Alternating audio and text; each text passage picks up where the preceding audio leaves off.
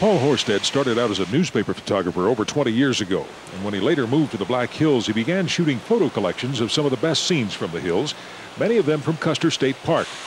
But something happened about seven years ago that got him interested in a new and different project. And uh, sort of had this vague idea that Custer had, you know, been here, uh, but then to realize that the whole wagon train had gone by, you know, within a half a mile of my house, just north of the town of Custer, uh, you know, really, I think, sparked my interest. He found out further that photographs had been taken along the route of the expedition. So, there, virtually in his backyard, was one of the scenes captured on the Custer expedition of 1874.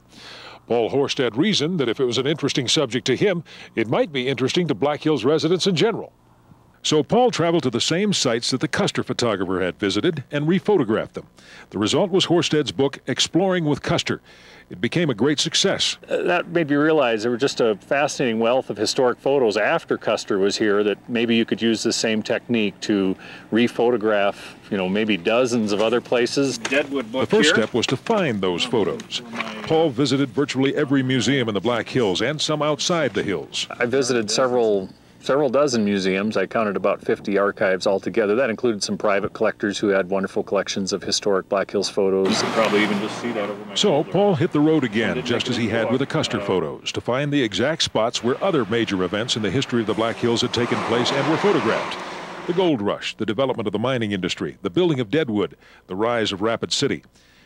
Many of the old pictures had been taken well over a century ago using the old wet plate process that required photographers to mix the chemicals in the field and coat a large glass plate in the dark in a horse drawn wagon. It's really amazing any of these pictures survive, but once they printed them, the quality is just amazing. Amazing indeed. And Paul is playing a role in making sure that more people will be able to see those amazing old photos than ever before. Tomorrow, we'll visit some of those places photographed so long ago to find out what they looked like then and now. Al Van Fox 7 News.